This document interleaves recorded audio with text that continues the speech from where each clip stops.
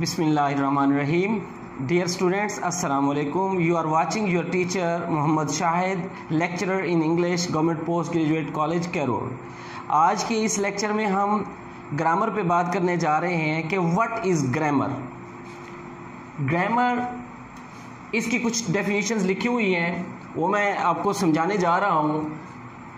Grammar is the study of classes of words, their inflection, their relations and functions. ये Webster dictionary में grammar को कुछ यूँ बयान किया गया है कि grammar is the study of classes of words के वर्ड्स की क्लासेस हैं वर्ड्स की गिरोहबंदी है कि अल्फाज को कैसे ग्रुपों में गिरोह में तकसीम किया जाता है उसके रूल्स हैं देयर इन्फ्लेक्शंस कि उसमें चेंज कैसे हम करते हैं कि एक पार्ट ऑफ़ स्पीच से वी लव्स दूसरे पार्ट ऑफ़ स्पीच में कैसे चेंज होता है, एक वे से दूसरे वे में कैसे बन जाता है, और इसके अलावा देर रिलेशंस के अल्फाज के आपस में रिलेशंस क्या हैं, ताल्लुकात क्या हैं एंड फ़ंक्शंस और अल्फाज के फ़ंक्शन क्या हैं, कि वो अल्फाज जो एक जुमले में इस्तेमाल हुए हैं, उसमें उसका क्या फ़ंक्शन है। इस पे बात होगी। दूसरे नंबर पे ऑक्सफोर्ड एडवांस लर्नर डिक्शनरी जो है, उसमें हमें ये डेफिनेशन मिलती है the rules in a language के ग्रामर एक्चुअली क्या है? किसी भी जबान के असूलों का ऐसा मजमु है for changing the form of words जो हमें लफ्ज़ों की जो शक्ल है, हयात है, वो कैसे चेंज होती है, इसके बारे में बताता है। And joining them into sentences कि ये अल्फाज आपस में मिलकर जुमला कैसे बनाते हैं, इन उसूलों पे बहस की जाती है।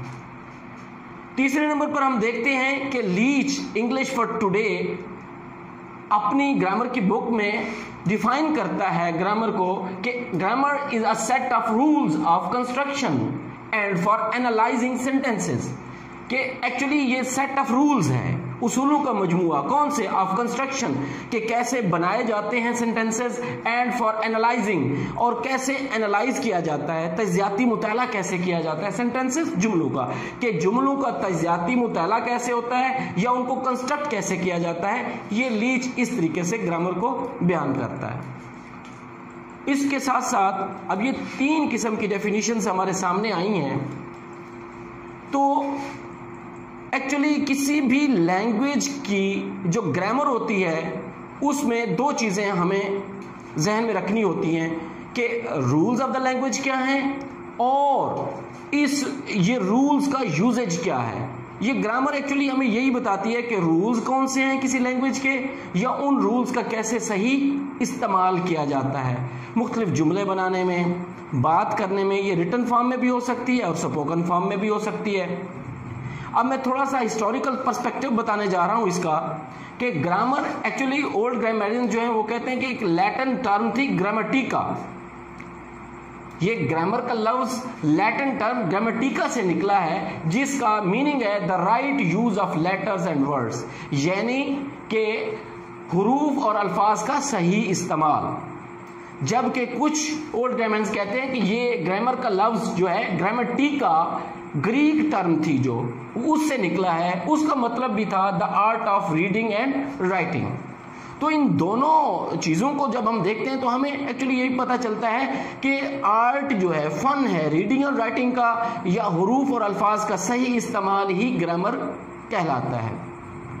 इसके साथ साथ मैं थोड़ी सी वजाहत मजीद करना चाहूँगा कि ग्रामर जो हम किसी भी लैंग्वेज की सीख रहे होते हैं तो हमें बहुत सी मुश्किल का सामना करना पड़ता है इसमें। उसकी मेन वजह क्या है? उसकी मेन वजह यह है कि किसी भी लैंग्वेज के रूल जो होते हैं ग्रामेटिकल रूल जो होते हैं, वो अनकॉन्शियसली डेवलप हो जाते हैं, जिस तरह के हमारी मदर टंग है, जिस तरह के दूसरी हमारी ज़बानें हैं। मिसाल के तौर पर पाकिस्तान में हम उर्दू भी बोलते हैं, पंजाबी भी बोलते हैं सराकी भी बोलते हैं, पश्तो भी बोलते हैं, हिंद को भी बोलते हैं, बलोची भी बोलते हैं। तो ये तमाम ज़बानें ऐसी हैं जो हमारी मदर टंग्स हैं और इनके लिए हमें किसी ग्रामर के सीखने की ज़रूरत नहीं पड़ती। एक्सपोजर टू द लैंग्वेज ही काफ़ी होता है कि ऑटोमेटिकली एक स्ट्रक्चर डेवलप हो जाती है कि जो स्पीच हैबिट्स हैं साउंड यूनिट्स हैं, उनके रूल्स हैं, वो अनकॉन्शियसली डेवलप हो जाते हैं और कोई भी लैंग्वेज बोलना आसान होता है। जब हम फॉरेन लैंग्वेज जैसे कि इंग्लिश लैंग्वेज सीख रहे होते हैं, उसके रूल्स हम कॉन्शियसली डेवलप करना चाहते हैं तो जो कॉन्शियस अप्रोच होती है conscious approach is less effective as compared to the unconscious one तो हम कोई भी जबान जो है, उसकी ग्रामर जो है, सीखने से पहले ये देख लें कि उसका एक्सपोजर कितना है हमें।